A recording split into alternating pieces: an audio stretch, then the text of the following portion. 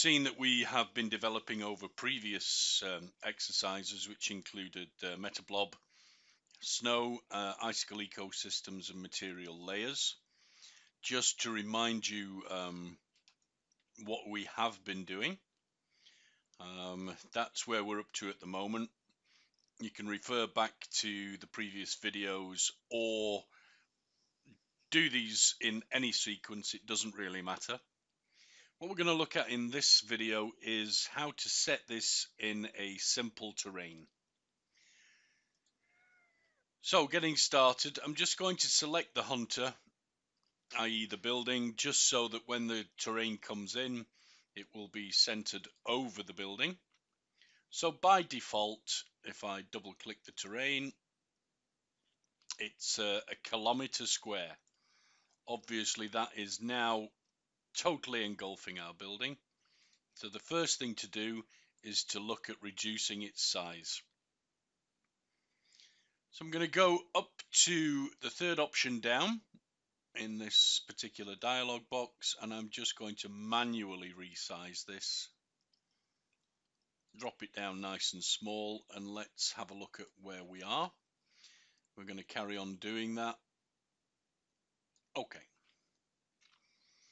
So again, it's been snowing quite heavily in this particular scene, as you can see. The house is engulfed by snow.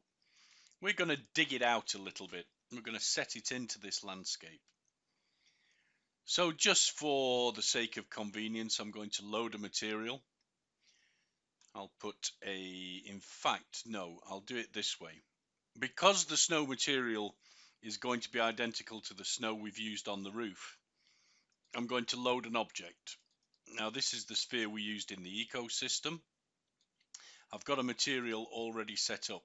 So with the sphere selected and the terrain by pr pressing control and clicking on terrain, I can right click on the material and assign that material to all of the objects that I have selected. I don't need the sphere anymore, so we'll just delete it. So let's double click the terrain again and see where we are. So we can see we've got the scene, we can see our house. So what we need to do, as I say, is we need to dig that house out. So I'm going to go to the paint section and I'm going to look at the raise button. That's the center button on the top row of icons. But we're not going to raise this terrain, we're going to invert it, so we're going to do some digging. Now it's quite important here that we look at the size of the brush and we look at the flow. If we have it all the way down, it's going to take away material quite slowly. As you can see, you can barely see anything happening. If I take it all the way to the top, you can see it's rapid and aggressive and quite hard edged. So I want to be in a little bit more control and I want to just decrease the radius a little bit maybe increase a little bit more. So let's start digging out at the front of the house. I'm quite happy to just go all the way back to the base as it were of the terrain and start looking at this. So what I'm thinking is the area around the front of the house and the area around the log pile would be fairly well used routes so I'm going to dig out a little bit round there, a little bit more around here because, you know, we never walk the same path twice.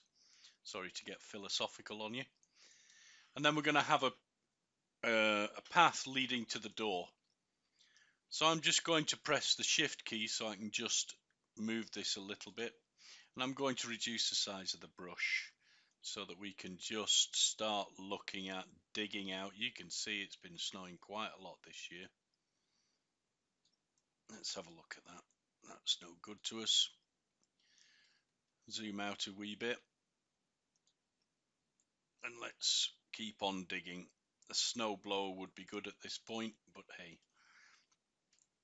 I'm just going to move it a little bit so I can make sure I've gone right to the edge. There's a little bit of encroachment there. So, we've dug out um, I think I've dug out about as much as I want to at the front of the building.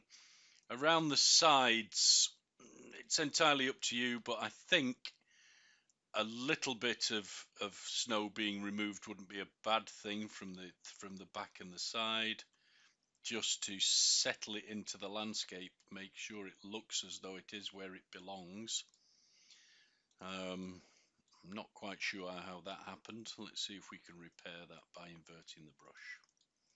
Let's fill that up a little bit and then we'll look at just removing some of the snow.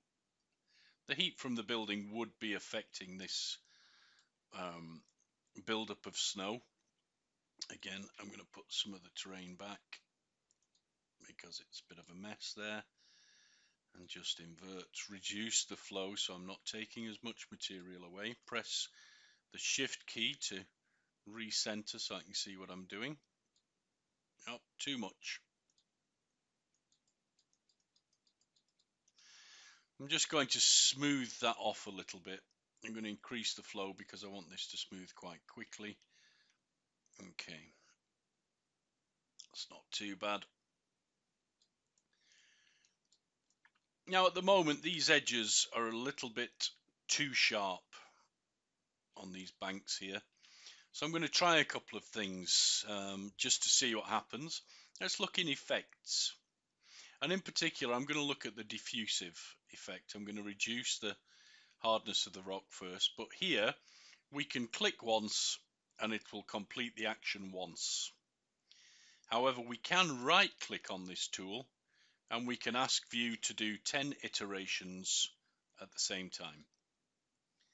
Okay, so the snow has smoothed off quite nicely. There would be a big bank here, but we've also got some snow covering the path.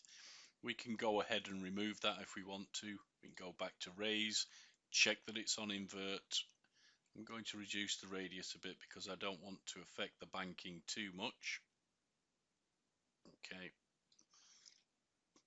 And we'll just apply diffusive once more. I'm also going to have a quick tinker with smoothing in terms of this area here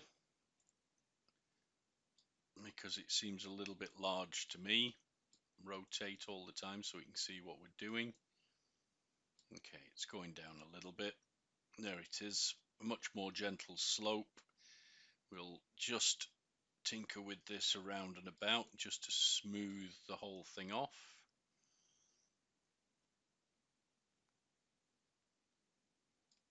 Okay, so now we've been operating with this with the, the hut in situ. Let's just switch off the scene and we can see that we've got snow buildup in the house. A good housekeeper always cleans up after himself. So I'm just going to just tinker away at some of this and get rid of it. I've got too much flow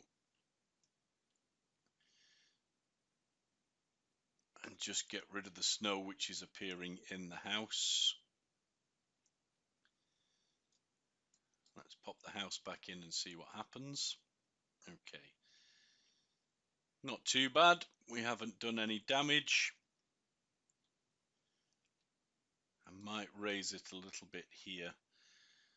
Um, these are the fine details that we can spend far too long on if we're not careful. Just raise a little bit of snow there it might be an idea to try and raise a little bit in the corners you know places where the snow would actually oh too much let's see if smoothing that down will do the job that's better calm it down a little bit we've got a little bit of snow build up um, in places we would expect snow build up reduce the power of that because I just want to add a wee bit more there, not that much, Control Z. Reduce the flow even further. Ish. Let's see if smoothing will just deal with that. Not particularly. But does it look that bad? I don't know. It's entirely up to you and your scene. I'll just tickle it back a wee bit. Okay.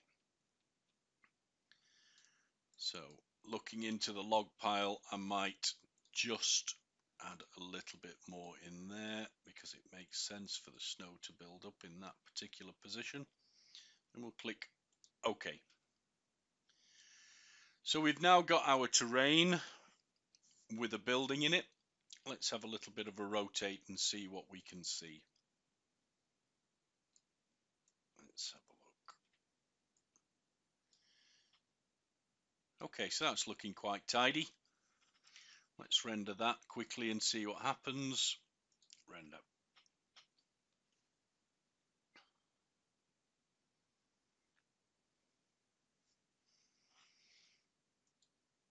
Okay, it's rendered. It's a little bit too brightly lit at this moment. Let's just have a look at the post-work options. That's even worse. So what I'm going to do is I'm just going to rotate the sun so we get a better idea of um, how this is looking. Unfortunately, the sun's straight on that building, so I'm just going to rotate it round to the side so we get some interesting shadows being cast. And we'll render that again and see how that looks. You'll notice whilst this is rendering that I've gone ahead and, and done some tweaking on this building based on what we've done before. I've added material layers to uh, many of the components, uh, including the ridge line and the deer, etc., to just blend it a little bit more in with the scene. If I just move the ground, we may find, let me zoom in, that if we drop the ground level down a bit, that's better. Okay, we can now see that we have exposed the snow. The ground layer was covering that up. So we have a good covering of snow. So that's a very simple terrain editing technique just so that we can set the house into its own little landscape. Um, it's looking quite wintry. I hope it's of use to you.